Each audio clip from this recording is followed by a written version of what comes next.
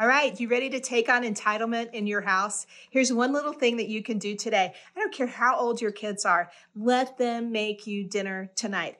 Okay, it starts with them planning the menu.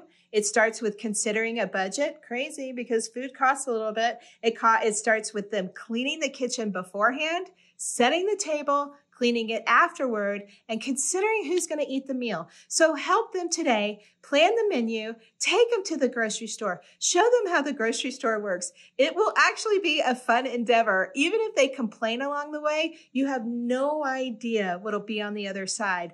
Not only will the complaining end, because crazy it does. And I've heard from people all over with all ages of kids, and they're like, the most amazing part is they wanted to do it again. And it feeds their souls, it puts fuel in their tank, and it actually helps them believe in themselves that they can do something they had no idea that they could do.